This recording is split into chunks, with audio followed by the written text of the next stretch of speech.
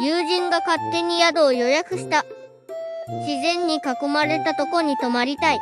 とか言って、古民家を改装したゲストハウスだって。ゲストハウス。なんでゲストハウスってどういう宿か知ってるの？知らない。何なの？知らずに予約したのか、宿泊者や宿のスタッフと交流を目的としたような宿だぞ。お前、普段、旅行はビジネスホテルに泊まって、スマホゲーして寝落ちして過ごすタイプやん。宿で人との交流は求めてないやん。キャンセルや、キャンセル。え？ブッキングドットコムで予約して、宿泊日の何日前でも、全額キャンセル料金がかかるプランに申し込んであるの。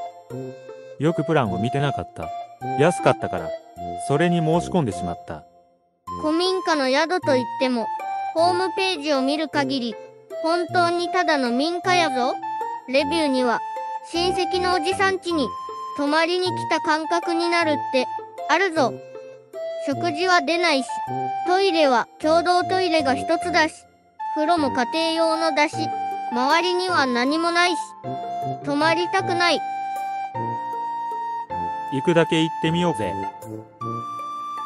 宿のオーナーとの絡みや他の客との交流はお前に任せたぞ。え、俺は嫌だよ。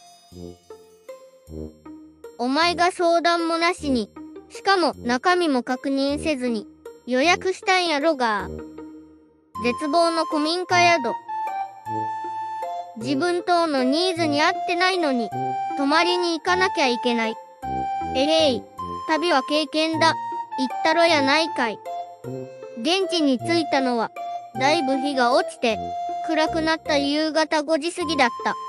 街灯もなく、民家が並ぶ田舎の集落、うっすら窓の奥に、明かりを感じる民家もあれば、影だけになっている民家もある。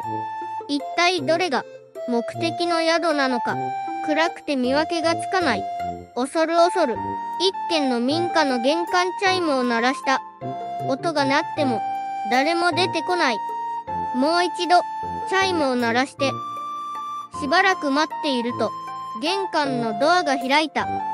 出てきたのは、小柄で片足を引きずって歩く、おばあちゃん。あ、あの、ここは宿をしている。お宅ですか？うちは違うよ。違った。あ